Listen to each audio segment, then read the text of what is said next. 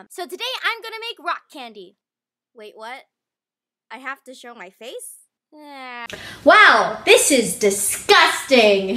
For this lab, I used a pot, a measuring utensil, organic Costco brand sugar, a stick, a jar, and food coloring. So what I did first is that I poured two cups of water into my pot and I let that boil.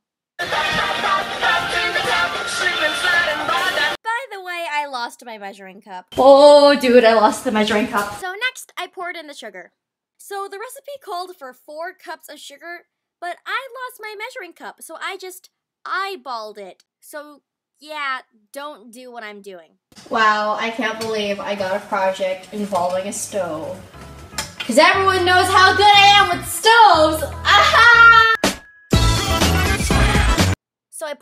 food dye, and while I was waiting for my solution to cool, I coated my stick in sugar.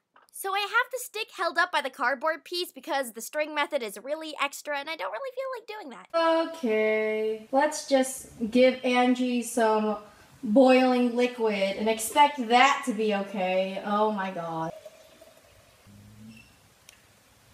Boom! And it's done! Time to check back in it tomorrow or something.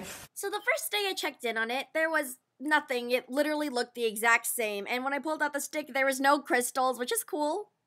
So the second day, nothing happened again, so I just recoated the stick and I put it in. So the third day, literally nothing changed. I'm pretty sure the sugar's just falling off the stick, so I recoated the stick and I just let it sit overnight to just stick on the stick, if that makes sense. Now I'm gonna let you guess, just guess, what happens next. Don't hurt yourselves here. If you guessed absolutely nothing, then wow, you are correct! So at this point, I was getting slightly frustrated because my lack of results. Hey, this rock candy's like my athletic ability. Because they're both non-existent. But this was the fifth day, and five is my lucky number, so something has to have happened this time, am I right? So wow, shocker, nothing happened. So I poured my liquid back into my pot and I let it boil. I then proceeded to add two cups of sugar into my mix. So I recoated my stick and I just prayed a collective prayer to all the deities out there that this would somehow work. Please, Please work.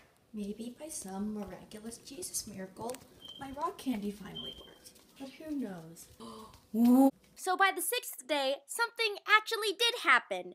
Well, the jar was completely crusted in sugar, and there was just sugar crystals all up on the bottom and the sides, and I couldn't even pull the stick out. But after six days of vigorous rock candy growing, I was finally able to see the fruit of my labor. it's so lame. so even though I put in blue food coloring, the sugar somehow turned this weird radioactive Shrek green, and for some reason, all the sugar collected at the bottom instead of on the stick because I don't know why. You know what? This is probably the best I'm gonna get, so I should probably do a taste test so I can start editing already. What if I told you that the world was gonna